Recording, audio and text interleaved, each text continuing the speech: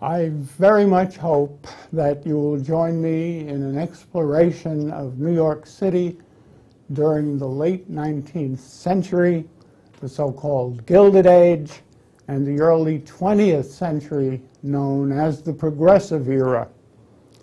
Our focus then will be on the 1870s to the 1910s, uh, but we'll touch on related important developments earlier and later.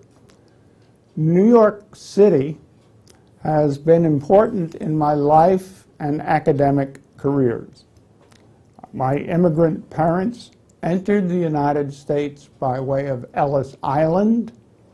They took initial American jobs there, and they met on the Ellis Island ferry. Marrying, they lived in New York City for half a century. I lived with my parents in Manhattan and then Brooklyn through college years before exploring America in graduate school, Connecticut and Iowa, the United States Army, Georgia and Alabama, and academia, first in California, later in New York City, and for 40 years at Vanderbilt and in Nashville. Wherever I have taught, I have focused on research and writing on New York City and that area of the Northeast, especially during the late 19th century. New York City had become the nation's most populous by 1810, the hemisphere's most populous by 1860. This when it comprised only Manhattan, and after 1874, a sliver of the Bronx. In 1898, Greater New York City, the city as we know it, came into existence. Manhattan, Brooklyn, uh, the nation's third most populous city at the time of its absorption, Queens, the Bronx, and Staten Island. New York City was now the world's second most populous city behind only London. We'll note factors that contributed to the remarkable growth of New York City, some of them natural, others involving human action, whether private or governmental. Like a magnet, New York City attracted immigrants and migrators we'll look at four major immigrant groups. First, the Irish and Germans, later uh, East European Jews and Italians. Uh, and two smaller groups that migrated to New York City largely from other parts of the United States. African Americans from the South, Chinese uh, largely from the West. We'll consider the group's backgrounds and how these affected their lives in New York City. We'll also deal with ethnic, religious, and racial conflicts that flared in the metropolis.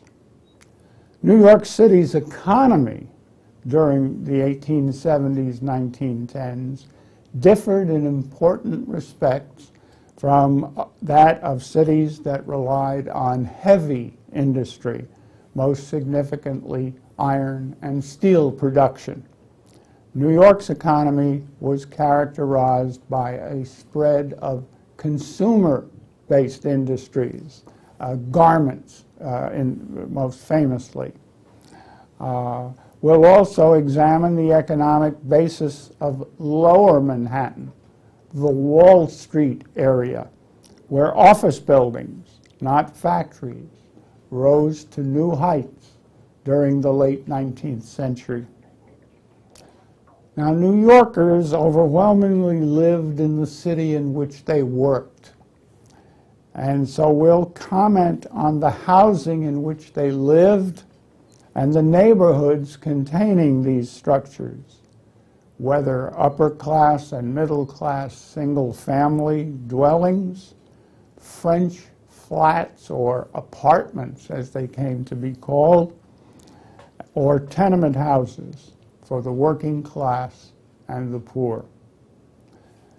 The further, the expansion of New York City and the growth of its population placed major and increasing demands on public transportation. We'll comment on street surface transportation, elevated trains, L's in New York City slang, and on subways. Ferry boats had long crossed the city's rivers. Now bridges did likewise over the East and Harlem rivers, though not until later, 1931, was the Hudson River bridged. Finally, we will note major disasters, whether natural, the blizzard of 1888, or accidental, three major fires, and of the toll of all too frequent tenement house fires, one of which killed my wife's great grandfather and his young son. Dangerous communicable diseases that necessitated governmental and private responses during the period cholera, tuberculosis, polio will also be discussed. Fellow explorers of New York City, I will welcome your questions and comments during and after my presentations and will provide you with some leads on which you can operate. Thank you.